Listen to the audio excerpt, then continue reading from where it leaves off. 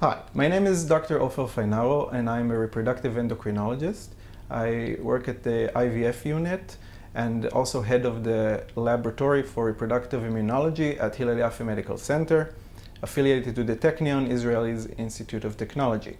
I'm here to present our work, um, namely immature myeloid cells derived from mouse placentas and malignant tumors, demonstrate similar pro-angiogenic transcriptional signatures that was performed here in our laboratory and in uh, collaboration with um, Weizmann Institute of Science and um, the Department of Structural Biology in Stanford University.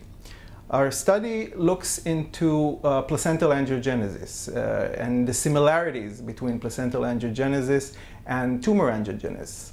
In a previous study, we showed that um, immature myeloid cells, which are, um, as their name says, they are incomplete, uh, incompletely matured cells um, that are or, that originate from the bone marrow, infiltrate both the placentas and the tumor, and um, they, in a very similar fashion, promote angiogenesis. So we sought to determine in this study, are these really uh, similar cells? Are these cells that um, express similar genes? So what we did is we, we grew um, uh, tumors in mice and also looked at placentas from pregnant mice and we isolated using flow cytometry the, the immature myeloid cells and then we looked into their global gene expression.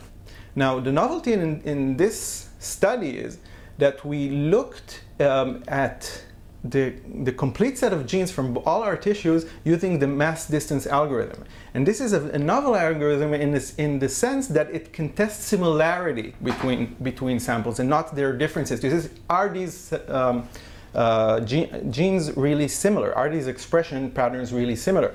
And what we found is, is that uh, around 500 genes were uh, expressed in a very, very similar fashion.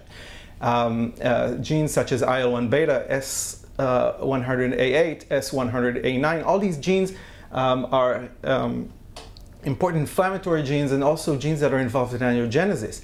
And more interestingly, we even found clusters of genes that um, show that there are some unique expression patterns for immature myeloid cells derived from the uh, placenta and also unique um, gene expression sets from the uh, uh, tumor-derived immature myeloid cells. So there our conclusions from this study are that there are mostly similar genes, um, and these cells are probably very similar in both origin and function, but also the niche, the, the place where the um, hosts these immature myeloid influences very specifically the gene expression, and we found some uh, placenta-specific uh, gene expressions such as LIF, JAG1, and also we found tumor-specific IMC uh, gene expression such as CXCL9, TWIST, TGF-beta receptor 3, and MMP3.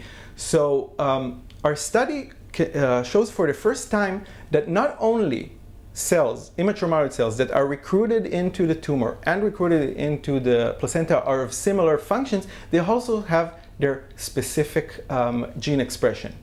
Now, this study is, is one of the pioneering ones in order that looks into the molecular mechanisms of, of placental angiogenesis and tumor angiogenesis uh, in, in, the contents of their similarity. And we hope that our studies may pioneer others that may look into the molecular aspects that will show what are the origins of placental diseases or malfunctions, such as preeclampsia, intrauterine growth restriction.